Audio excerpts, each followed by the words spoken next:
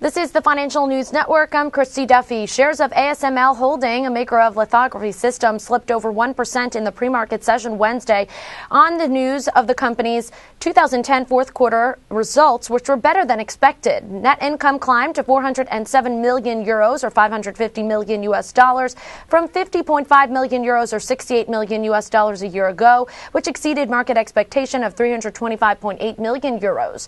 In the previous quarter, the figure stood at 269 million euros. The Netherlands-based company's fourth quarter net sales was 1.5 billion euros, up from 1.2 billion euros seen in the same quarter in 2010. The company expects sales of 1.4 billion euros in the undergoing quarter and 5 billion euros in 2011. For further updates, stay tuned to the Financial News Network. I'm Chrissy Duffy.